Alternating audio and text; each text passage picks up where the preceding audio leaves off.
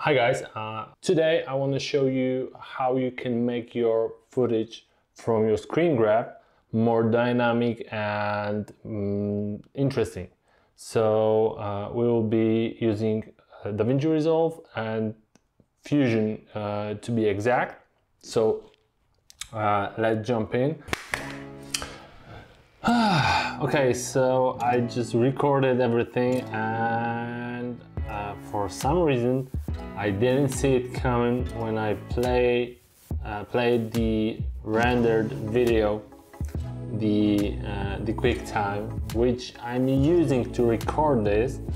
Just shut down my recording session and just played the video. Uh, so I will be doing this once again.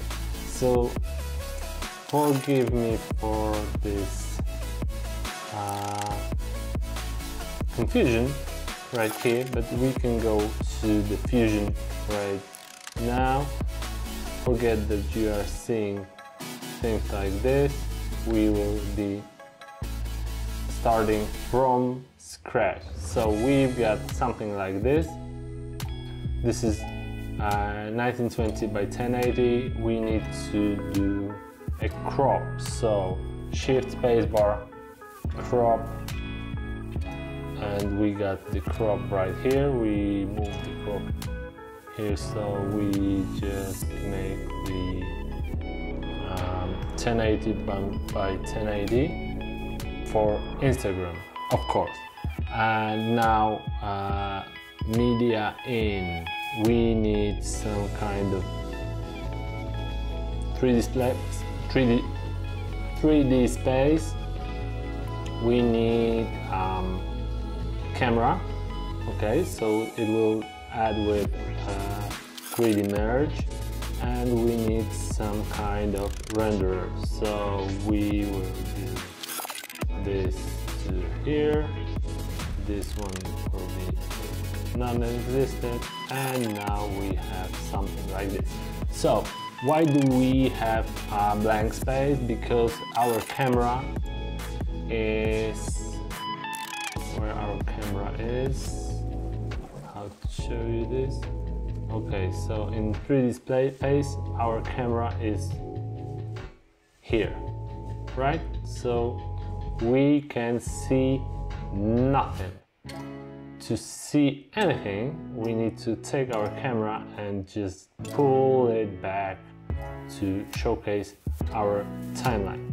Okay, so we would like to see more of this and to move this, this screen like this on the MacBook you need to hit uh, shift and with two fingers or on your trackpad you can move this uh, into the text.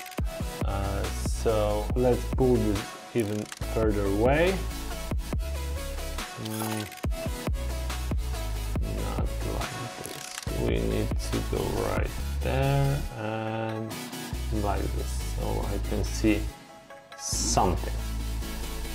Okay, so this is it. This is our central portion. We need to go back in in this direction okay so this is the the center point with our our mouse right here we need to put this Uh, okay, so you can uh, change the um, position of your camera. You can hit here and change the rotation of your camera. And here you can see how the uh, everything will be changing. But what I like to do is to use target and with target you have this point and this point and this is only two points that you are interested in. So if I, for example, move the camera, look that the point on my screen is just standing still, right? So if we can uh, predict where our mouse cursor will be going, like so.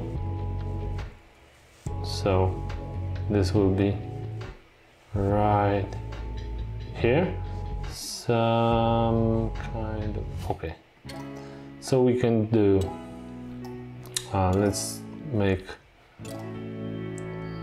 first frame our playhead to to the beginning make a keyframe right here not this this one. One two three.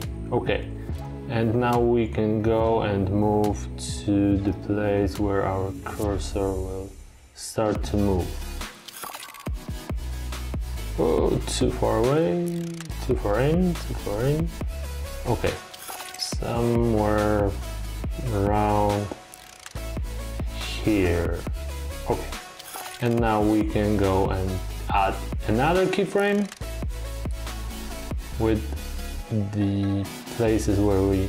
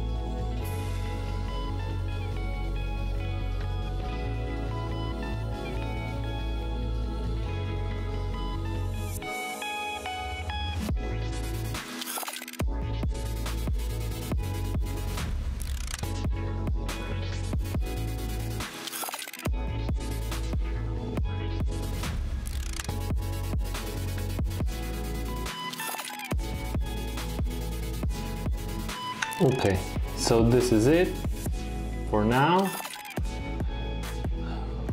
Okay. Let's go here, let's go right here, and let's do this test one. Render queue is start and start rendering this stuff. I hope you like this video. If you like this, please hit the like button. If you love this, please, please do subscribe. Turn on the notification bell. I will see you in the next one. Bye.